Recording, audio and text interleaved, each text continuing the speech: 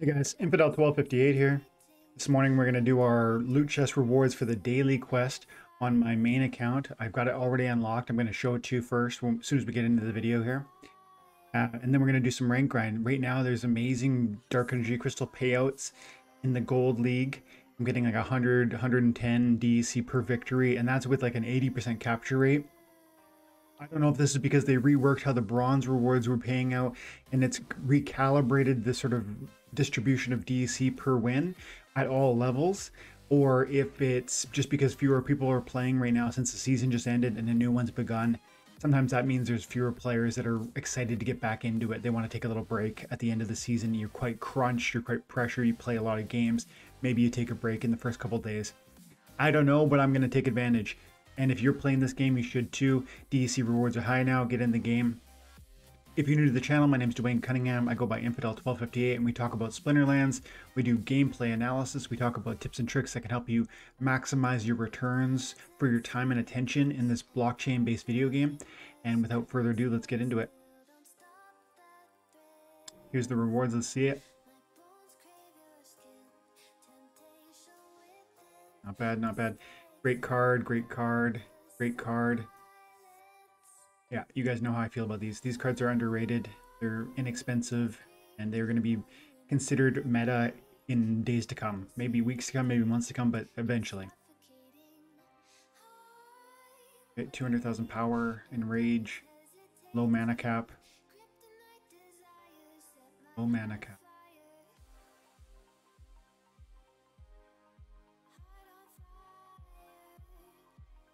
I'm thinking Assassin the double sneak attack. I'm also thinking Sea Monster with, with Bortus. Yeah. Sea Monster with Enrage is pretty nasty. But then again, you know what is also nasty? Serpent of Eld with the 5 speed and the dodge. But then what happens when it when it gets hit once? It's going to go to like 8 speed or something like that. 9 speed maybe. It'll be really hard to hit It's going to depend what, what, what monsters he throws at me. So it's conceivable that he'll he'll play a fast monster also, and that will make it less likely for me to be you know out dodge him kind of thing. But I have a this is a good card for this context is what I'm saying. So is honestly so is Battle Orca with the three uh, with the three melee and the four speed and seven hearts. It's gonna go up to six or seven speed. It's gonna go up to five hit points, all for all for three cost. And then you could put other things in the back, right? So you could go like, I could go that and I could go that, which is pretty nasty with the Demented Shark. Or I could do my Ice Enchanted Pixie to amp them up again. Maybe do a healer. I'm not going to do that. I'm going to go, I'm going to try the Serpent of Eld. See how that goes. And then I want to go one healer, and one creeping ooze. Creeping ooze to just give me that extra chance to dodge. Okay, bear with me. I'm gonna while that's loading up, I'm gonna close my door here.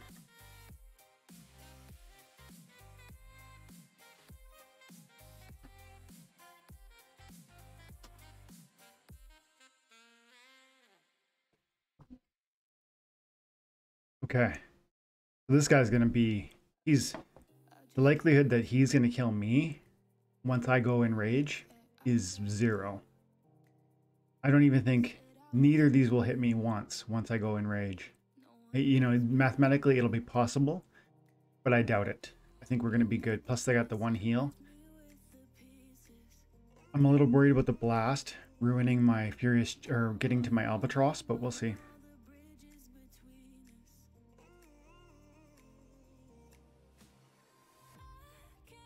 Obviously, the thorn damage could be a problem for me, but look, I'm at 8 speed and he's at 1. That's See, look at the misses. You know, 8 speed... There it is, miss, miss. Boom. Dead.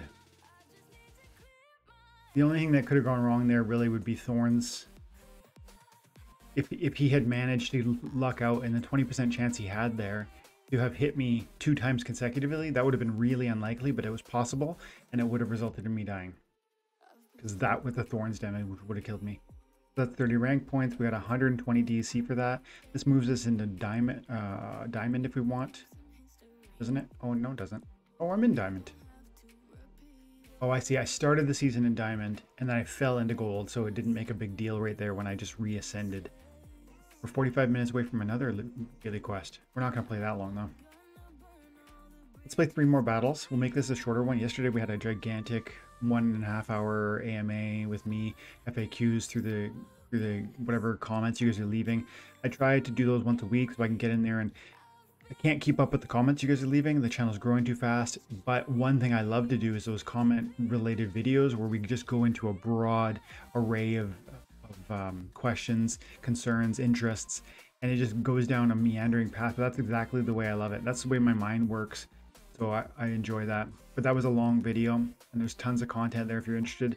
I'm breaking it down into little segments that are more digestible and more specific on, on one focus. Today there's one for SPS if you're interested. Otherwise, if you just want to watch the hour and 15 minute live, then you can see all of the stuff we talked about. Okay, odd ones. Only odd ones are allowed. Armor. Okay, so in this context, I think I think uh, white because white's got, where is he? Five cost. Silver Shield Paladin with the four armor and the three, or the hearts with the three melee. You know, a good candidate for the magic bounces off of you. And for five mana, this is one of my favorite tanks. He's such an amazing tank, for, especially for five mana. And then I think something like this might, well, what's the better play here? Look at, we got to make ball. we could go... We could go... Truth Speaker is to give me two more armor, plus he's to give me a tank heal. And then I could go Divine Healer for double heals. Or I could go, you know, Thunderbird or Uraeus or Divine Sorceress. Lots of good options. Or even Crystal Wolf. Gotta decide.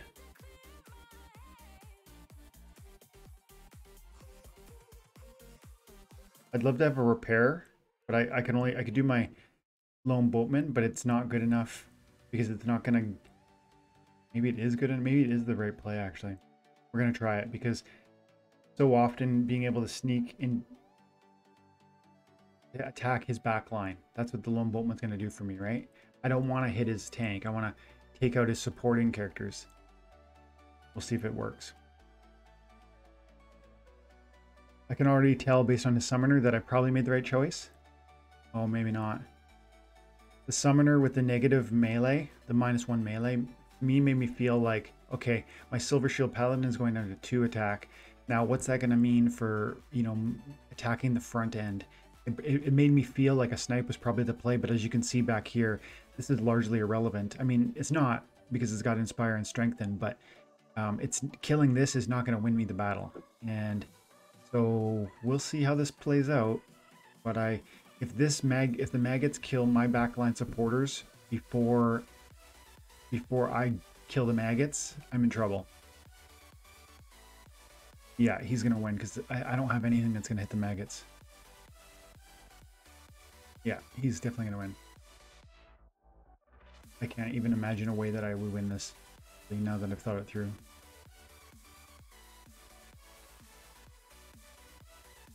not only is the retaliate a problem, but see the maggots is just has free run on me, right? I can't, I have no way to strike it. My my sniper is not going to focus fire his the maggots. If it was just these two versus this guy, I could pull that off, right? Because the armor would would save me, but Scavit or the um, opportunity attacker back here took out my support, and that prevented my repair, which cost me the game. Okay, let's get two more. like I said, guys, uh, I still get a lot of comments from you guys from every level saying I just can't get past this level. And if it's not card related, like if you legitimately have bought cards and you have the power level to reach a level, like if you have 1000 power, you should be able, if you have 1000 power worth of cards, you should be able to make bronze too. Like technically speaking, uh, objectively speaking, if you got 15,000 power, you should be able to make silver three. If, if you got the power and yet you're not making those levels, um, there's probably just some placement conditions that you're not you're not understanding. Um, and and probably just watching the old gameplay footage, the old you know gold grind, silver grind, bronze grind, even diamond or champion, you're going to begin to understand how we build a team. Look at what I'm doing, and and for that matter, when you're losing games, specifically take note of how you lost and what did you lose to, what what made you vulnerable, and what cost you those lot the loss in that last battle. How did why did I lose? He had an opportunity attacker, and I didn't and yeah, you could also say Lord of Darkness is a better than than the tank I put forward, but the opportunity attacker really changed. You know, made it. That was the thing that gutted my support, which really mm, put was the nail in the coffin. So there, in the future, I, I need to be cognizant of that. I thought I, I picked I picked Silver Shield Paladin as a counter to the to, uh, or thinking that the magic issue was a good like because the, the, magic bounced off armor in that battle. That's why. But he didn't even play play magic. So I should have thought about that. Seven hundred thousand. No heals. No heals. Eloquent Conjurer with eight hearts, Magic Reflect, Divine Shield, Phase. Amazing card. An amazing card. I just recently leveled it up. Oh, oh, I'm glad I noticed this. You gotta, you gotta take a second. Always look at your rules of combat before you submit your team. The Silver Shield Assassin will not attack from that position in this context. I hear my Discord. Sorry, guys. Okay, we gotta be quick. Quick. This. Try something different a opportunity attacker or something? Yes, we do. Good. Go.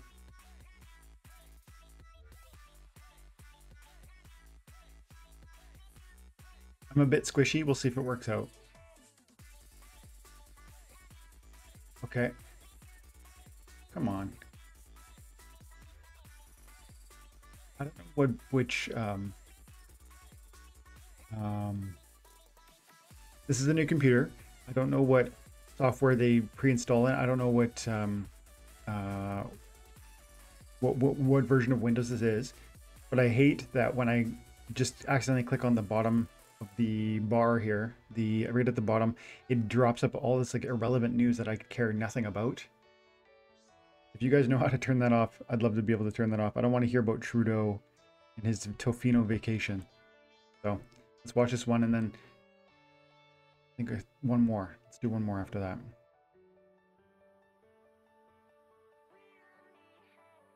Stun is going to be a problem. The opportunity is going to be a problem. He's got armor, I don't. I didn't poison him. I feel like everything's going wrong here. Yeah. Yeah, we're done. This card is so game changing. Absolutely game changing. Spirit of the Forest.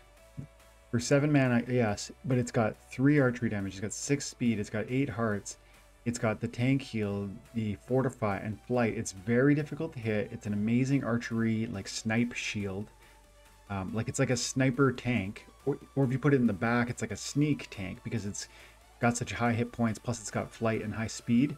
It's so game changing.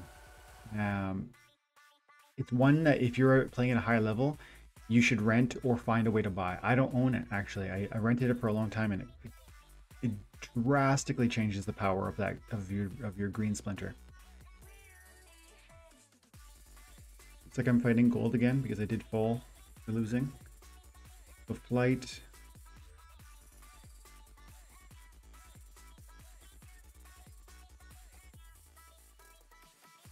Hmm.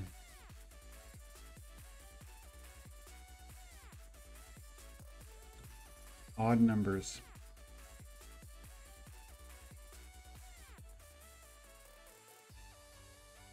Okay.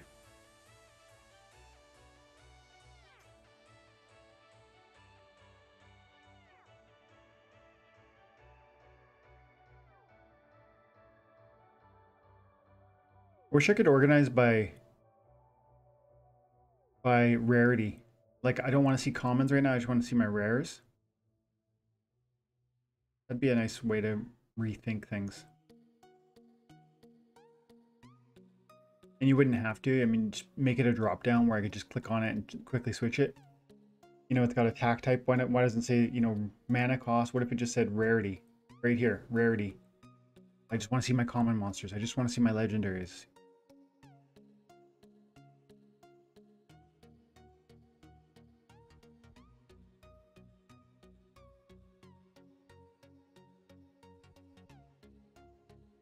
I'm really torn. I don't have I don't really have a plan here.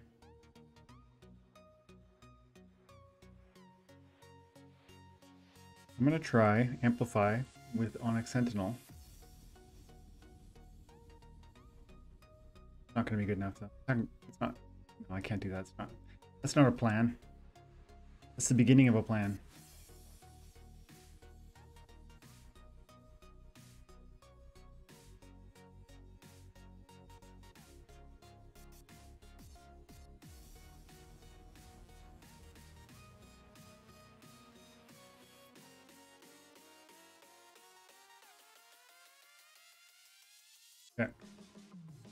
I don't, this feels weird, but given what I've got to work with here, give it a shot. Hmm.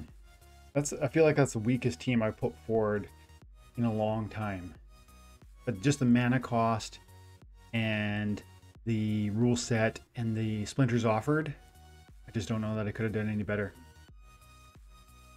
This guy's super annoying with the dodge and the speed. But fortunately, I brought two relatively quick monsters. He still has a like a 35% chance to avoid my kobold. He's gonna have like a 15% chance to dodge my. I think it's 15 for dodge. And the shield's gonna be annoying. Plus, he's gonna repair. Oh, he's gonna get me. Super repair flame monkey's gonna cost me the game. Yep. Now, even if he dodged, I dodged everything he threw at me. He's gonna repair every time I hit. Annoying. Okay, so that wasn't as fruitful as we we usually like, but you know, we won the first one, 120 Dark Energy Crystals, and we lost three in a row. That's okay.